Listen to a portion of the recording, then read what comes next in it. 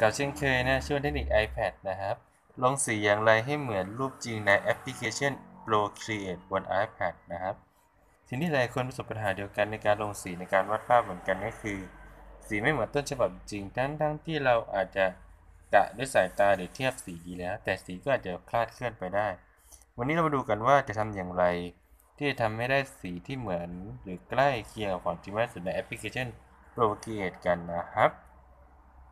ลงสีอย่างไรให้เหมือนรูปจริงในแอปพลิเคชัน Procreate บน iPad ขั้นตอนแรกให้นำรูปที่ต้องการเอามาเป็นแบบวาดก่อนโดยการ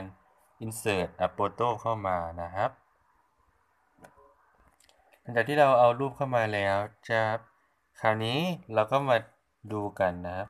เรามาดูกันว่ามาแยกเฉดสีกันนะว่า โดยใช้วิธีการดูดสีให้ใช้นิ้วหรือเป็นเพนซิลจิ้มค้างเอาไว้ จนกว่าจะปรากฏในวงกลมนะครับ จะเป็นรูปขึ้นมานะครับผมแล้วระบายสีเก็บไว้ชัดเจนนะครับ คราวนี้เราหลังจากที่ว่าแยกเฉดสีได้หมดแล้ว เราก็ดำเนินการเราอาจจะแยกได้มากกว่านี้ก็ได้นะครับ แต่ว่าด้วยความละเอียดของเราเองนะครับผมคราวนี้เราก็มาเริ่มวาดกันโดยเลือกที่บัชนะครับ ที่เหมาะสมอาจจะเริ่มสเก็ตภาพ หรือบางคนอาจจะลงสีเลยก็ได้แต่ความถนัดของตัวเรานะครับผมหลังจากเราสเก็ตเสร็จแล้วก็ลงสีได้เลย โดยดูจากต้นแบบว่า สีอะไรอยู่ตรงไหนใช่ครับผม ตามในรูปต้นฉบับวิธีการก็คือ ใช้วิธีจิ้มดูดสีที่เราระบายทิ้งไว้ แล้วใส่ลงในส่วนที่เราสเก็ตไว้ได้เลยนะครับ เราลองไล่สีทั้งหมดดูแล้วก็จะได้ประมาณนี้เห็นได้ว่าสีใกล้เคียงของจริงมากใช่ครับ นอกนั้นก็อยู่ที่ฝีมือเราล้วนๆว่าจะได้สีโดยเกียรสีกันอย่างไรนะผม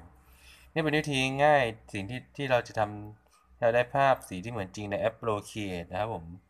เนี่ยได้มีวิธีการลงสีและเทคนิคอื่นๆมากมายให้ฝึกกันทำมียแปลกับ Impressive ก็ลองเล่นดูกันได้นะผม